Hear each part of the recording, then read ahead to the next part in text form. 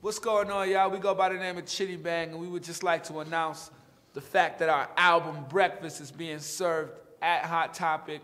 You know what I'm saying? If you want to get it there, go do that. Go do that. 'Cause Pick it's you up available a couple there. shirts or something. It's available there. Gotta say thanks to Hot Topic for supporting us. The album Breakfast is out right now. You should go get that. The album, Breakfast. Breakfast. Chiddy Bang. Hot Topic. Breakfast. Chiddy Bang. Album. Breakfast.